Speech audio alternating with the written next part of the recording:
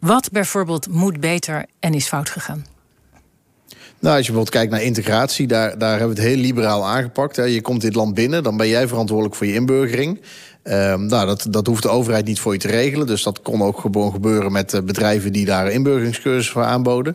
Nou, en als je dat dan niet goed deed, dan was het idee, nou, dan moet je er ook voor betalen. Dan, dan, heb je het, dan moet je zelf de kosten gaan dragen voor je inburgeringscursus. Op het moment dat je wel slaagt, dan uh, zijn die kosten niet voor jou.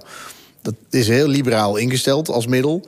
Maar in de praktijk ja, liep dat niet goed genoeg. Hè. Dus er kwamen mensen hier naartoe, spraken de taal niet... Eh, wisten niet amper dat ze een cursus hadden...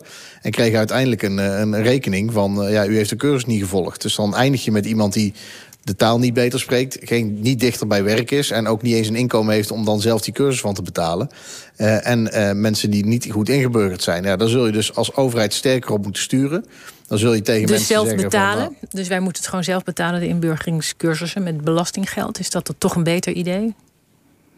Nou ja, je kunt, eh, wat, dat deden we in principe nu ook. Want van een kale kip kun je niet plukken. Dus, uh, dus dan kun je wel een boete sturen. Maar als iemand geen inkomen heeft, dan wordt er ook niet echt betaald. Aan de voorkant. Dus ik zou dat ja. koppelen aan, uh, aan, aan het moment dat je bijvoorbeeld een aanmerking komt voor een eigen huis. En dat je eerst een paar st stappen moet hebben gezet. Dat je de taal beter spreekt. Dat je zicht hebt op een baan of op een opleiding die, jou, die, die naar een baan kan leiden.